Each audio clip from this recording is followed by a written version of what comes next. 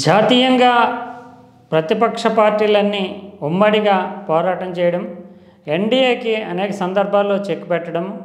ముఖ్యంగా ఇటీవల కాలంలో చూసాము కాంగ్రెస్ పార్టీలో విశ్వాసం అనేది ఆత్మవిశ్వాసం అనేది చాలా ప్రస్ఫుటంగా కనిపిస్తుంది.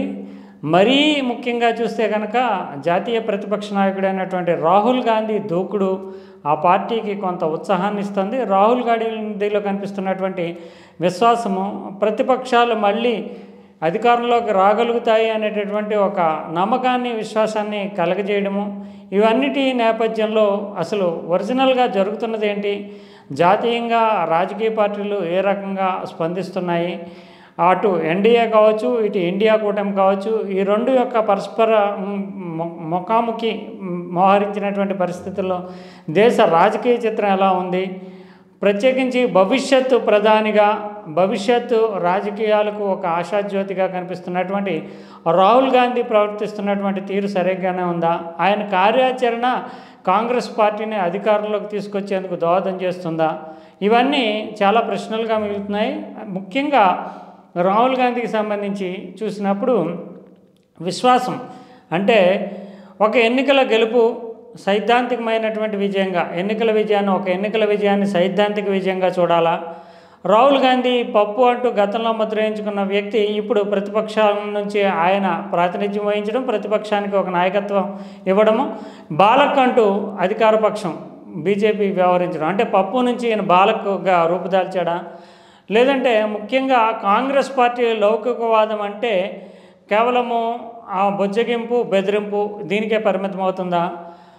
రకరకాలైనటువంటి ప్రశ్నలు. ఈ ప్రశ్నలే ఇప్పుడు దేశ రాజకీయ రంగాన్ని పట్టుకుదిపేస్తున్నాయి వీటికి ఒక రకంగా చెప్పాలంటే ఒక Telugu journalist senior Telugu journalist ఇచ్చినటువంటి సూచనలు. రాహుల్ గాంధీ యొక్క ఆత్మవిశ్వాసం అతి విశ్వాసంగా ప్రస్ఫుటమైతే కనుక భవిష్యత్తులో రాజకీయాల్లో కాంగ్రెస్ రాజకీయాలు ఎలా ఉంటాయి ప్రతిపక్ష రాజకీయాలు ఎలా ఉంటాయి అసలు కాంగ్రెస్ పార్టీ చూస్తున్నటువంటి ధోరణి అంటే దేశ రాజకీయాలను చూస్తున్నటువంటి ధోరణి రాహుల్ గాంధీ రాజకీయ పరిణతి రాజకీయ అవగాహన ఎలా ఉంది వీటిపైన కె శ్రీనివాస్ అంటే ఆంధ్రజ్యోతి ఎడిటర్ ఇటీవల కాలంలో చేసినటువంటి కొన్ని సూచనలు కాంగ్రెస్ పార్టీలో అంతర్మదనానికి ఆత్మావలోకనం చేసుకోవాల్సినటువంటి పరిస్థితిని తెల్లడం తెల్లడ తేడతెల్లం చేస్తున్నాయి ముఖ్యంగా కె శ్రీనివాస్ కొంచెం అభ్యుదయ భావాలు వామపక్ష భావజాలం కలిగినటువంటి ఒక సీనియర్ జర్నలిస్ట్గా చూడాలి. అంతేకాకుండా ఈయన ప్రత్యేకించి భారతీయ జనతా పార్టీ యొక్క రాజకీయ విధానాలని సిద్ధాంతాలని అనేక సందర్భాల్లో ఎండగడుతూ హిందుత్వవాదాన్ని నిలదీస్తూ అనేక వ్యాసాలు రాశారు. ప్రస్తుతము ప్రతిపక్షం సరైనటువంటి ధోరణిలో అంటే రాహుల్ గాంధీ సరైనటువంటి పరిణతితోటి వ్యవహరించడం లేదు అనేటటువంటి ధోరణిలో ఆయన రాసినటువంటి వ్యాసం మాత్రము రాజకీయ వర్గాల్లో చర్చకు దావిస్తుంది ఎందుకంటే దీనికి ఉండేటటువంటి హేతుబద్ధత ఇంతవరకు భారతీయ జనతా పార్టీని వేలెత్తి చూపితే అనేక వ్యాసాల్లో ప్రధానమంత్రిని కావచ్చు భారతీయ జనతా పార్టీని కావచ్చు ఎన్డీఏ కూటమిని కావచ్చు అనేక సందర్భాల్లో వాడు చేస్తున్నటువంటి తప్పులు పొరపాట్లు ఇతరత్ర అనేక సందర్భాల్లో వేలెత్తి చూపుతూ విమర్శించినటువంటి ఒక సీనియర్ జర్నలిస్టు. ఇప్పుడు రాహుల్ గాంధీలో కనిపిస్తున్నటువంటి విశ్వాసంలో ఉండేటటువంటి లోటుపాట్లు ఆయన కనపరుస్తున్నటువంటి కార్యాచరణలో ఉన్నటువంటి లోపాలను ఎండగడుతూ వ్యాసం రాయడం అనేది ఒక విశేషమైనటువంటి పరిణామంగానే చెప్పాలి. ఇక్కడ ఈ సందర్భంలో ప్రత్యేకించి రాహుల్ గాంధీ చేసినటువంటి వ్యాఖ్యలు చేస్తున్నటువంటి ధోరణిలోని ప్రచారాన్ని అయోధ్య ఉద్యమాన్ని ఓడించాం.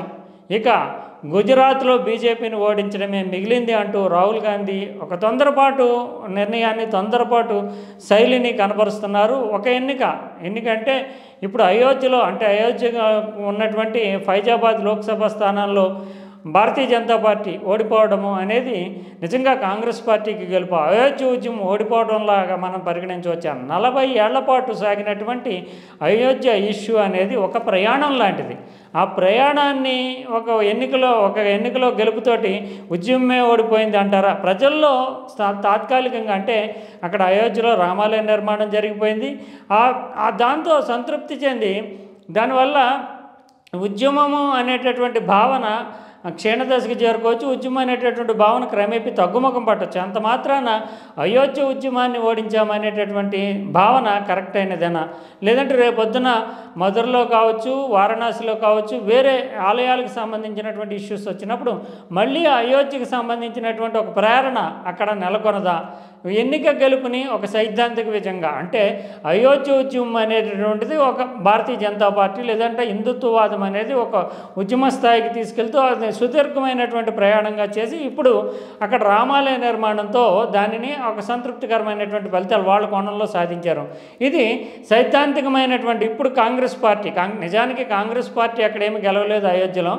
కాంగ్రెస్ పార్టీ కేవలము సమాజ్వాదీ పార్టీ తోడ్పాటుతో సమాజ్వాదీ బలమైనటువంటి శక్తిగా ఉన్నటువంటి సమాజ్వాదీ పార్టీ తోడ్పాటుతోటి అయోధ్యలో కావచ్చు అయోధ్య అంటే ఉత్తరప్రదేశ్లో కొన్ని విజయాలు సాధించింది. దీన్ని కాంగ్రెస్ పార్టీ యొక్క సైద్ధాంతిక విజయంగా ఎన్నికల విజయాన్ని చూడలేము అంటూ కె. శ్రీనివాస్ వ్యాఖ్యానించారు. అంతేకాకుండా ఈ నిన్న మొన్నటి వరకు రాహుల్ గాంధీని పప్పు అంటూ అసమర్థుడు అనేటటువంటి కోణంలో భారతీయ జనతా పార్టీ వ్యాఖ్యానించింది. ఇప్పుడు బాలక్ అంటూ చాలా స్ట్రాటజిక్గా వ్యూహాత్మకంగానే భారతీయ జనతా పార్టీ దేశ ప్రజల ముందు రాహుల్ గాంధీని బాలక్గా ఒక బాలకుడిగా చూపించేందుకు ప్రయత్నం చేస్తుంది. దీంట్లో చాలా దూరదృష్టి చాలా దురుద్దేశపూరితమైనటువంటి అవగాహన చాలా వ్యూహాత్మకమైనటువంటి స్ట్రాటజీ ఉంది. ఇప్పుడు రాహుల్ గాంధీ ప్రవర్తిస్తున్నటువంటి తీరు సైద్ధాంతిక విజయం వేరు లేదంటే ఎన్నికల గెలుపు వేరు. ఇప్పుడు ఉన్నటువంటి ధోరణిలో అనేక పక్షాల తోడ్పాటుతో మాత్రమే భా భారతీయ జనతా పార్టీ పైన నిజానికి భారతీయ జనతా పార్టీని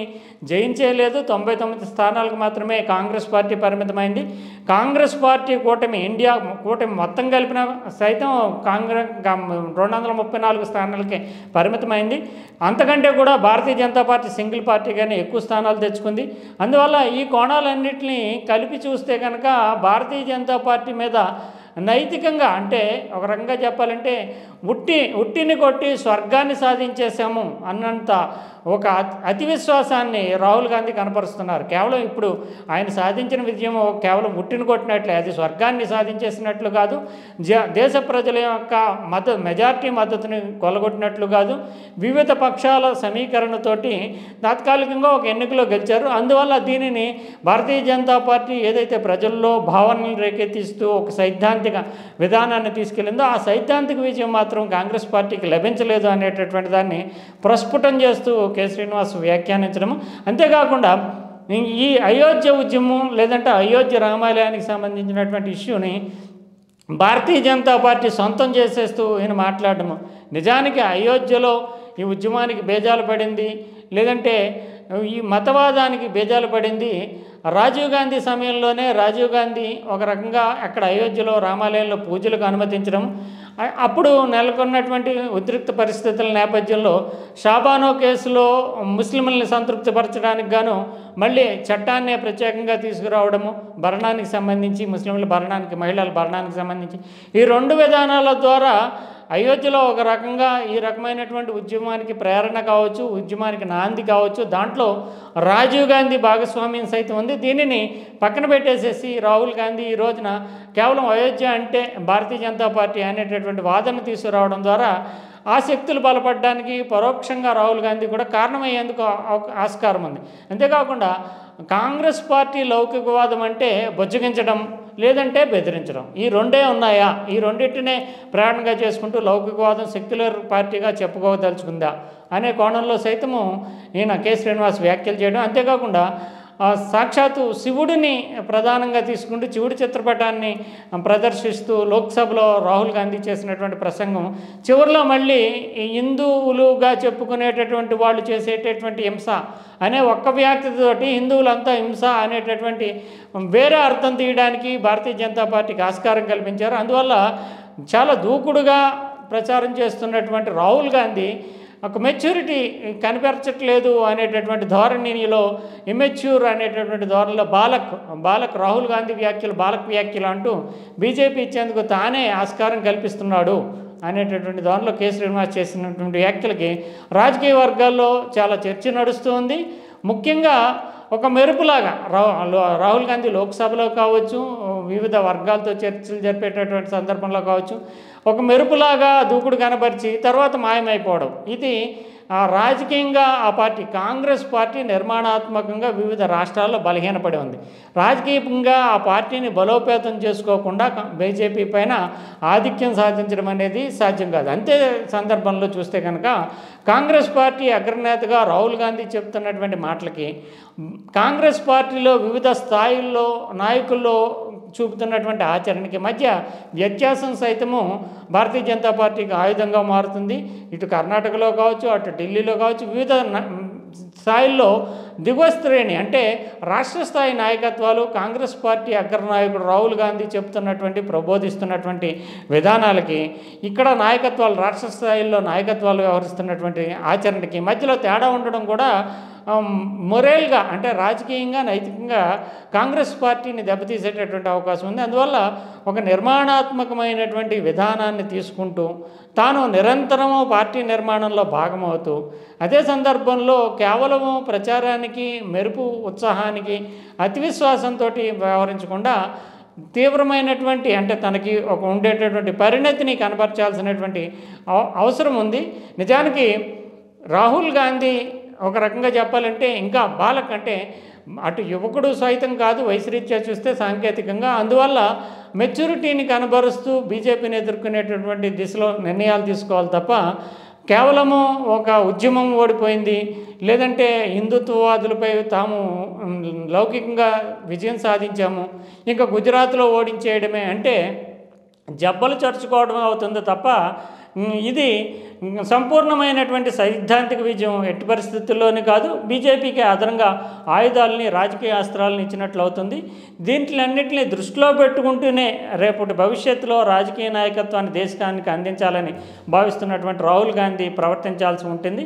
తన కార్యాచరణను సరిదిద్దుకుంటూ ముందుకు వెళ్ళాల్సి ఉంటుంది. లేకపోతే కనుక కేవలం ఈ ప్రచారం ఈ అడావిడి అంతా కూడా ఈ ఎన్నికల్లో సాధించినటువంటి స్వల్ప విజయం. నిజానికి కాంగ్రెస్ పార్టీ సాధించిన విజయం విజయంలో మిత్రపక్షాల యొక్క భాగస్వామ్యం ఎక్కువగా ఉంది. ఉత్తరప్రదేశ్లో విజయాలన్నింటికీ సమాజ్వాదీ పార్టీ అండ ఎక్కువగా ఉంది. అయితే రాహుల్ గాంధీని తృణమూల్ కాంగ్రెస్ వంటి పార్టీలు గతంలో ఆమ్ ఆద్మీ పార్టీలు కానీ ఒక నాయకుడిగా అంటే ప్రతిపక్ష కూటమికి నాయకుడిగా అంగీకరించలేదు. కానీ ఇటీవల సాధించినటువంటి విజయాలతో తృణమూల్ కాంగ్రెస్ అంటే మహువా మైత్రిని చూసామో లోక్సభలోనే ఈజ్ అవర్ లీడర్ అండం అంటే సా సామూహికంగా నాయకత్వ సామర్థ్యాన్ని నాయకత్వానికి అంగీకరించేటటువంటి సమ్మతిని పొందడం రాహుల్ గాంధీ సాధించినటువంటి విజయం. అయితే బీజేపీ లాంటి బలోపేతమైనటువంటి శక్తిని మెజార్టీ ప్రజల మద్దతు పొందినటువంటి శక్తిని ఎదుర్కోవాలంటే రేపు ఈ కూటమికి ఇండియా కూటమికి ప్రజల యొక్క దేశ ప్రజల యొక్క మెజార్టీ మద్దతు సమీకరించి పెట్టాలంటే మరింత పరిణతితో పరిపక్వతతోటి